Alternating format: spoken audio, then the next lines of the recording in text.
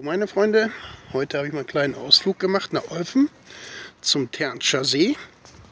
Ternsche, da ist auch ein Campingplatz in der Nähe. Natürlich heute mega geiles Herbstwetter. Rein theoretisch könnte man baden gehen. Also hier direkt ist auch Baden erlaubt. Auf eigene Gefahr, habe ich gerade eben gelesen. Geiles Wetter, viele Enten. Ja, wie gesagt, ich bin jetzt hier direkt in dem äh, Badebereich. Das ist eigentlich als Freibad auch, ich habe ich eben gelesen.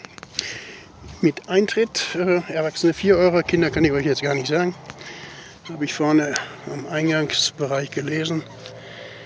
Da hinten ist der Campingplatz und äh, ja, Verköstigung, halt Kiosk und keine Ahnung, was es so weiter gibt. Rechts ist, ich glaube, Herren, also Toiletten und so weiter, so wie es aussieht, aber auch gleichzeitig in Verbindung mit dem Campingplatz.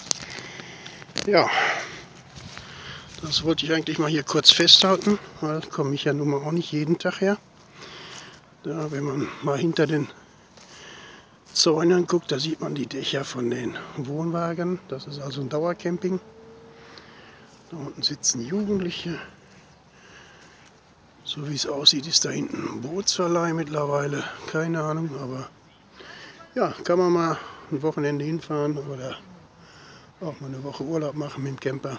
Ist nicht teuer hier und alles in der Nähe erreichbar. Ja, gut, das war ein kurzer Bericht hier vom Ternscher See in Olfen, Münsterland. Ähm, jo, was braucht er noch für Infos? Keine Ahnung, schaut einfach im Netz Ternscher See, Olfen, Campingplatz. Dann habt ihr alles. Bis dann, Norbert vom Kanal. Da, wo immer die Sonne scheint und heute sogar am Ternscher See, nicht weit von meinem Camping entfernt, so circa 20 Kilometer.